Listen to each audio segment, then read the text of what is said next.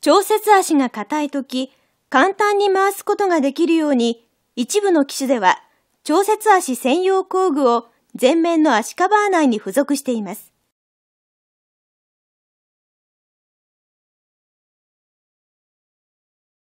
使い方は、ご覧のように専用工具を調節足の切り欠き部に合わせて回します。時計方向に回せば調節足は下がります。1回転で調節足はおよそ1ミリ動きます。専用工具を使えば回しにくい調節足もご覧のように簡単に回すことができるようになり、ドア下がり、ドア段差の調整が容易にできます。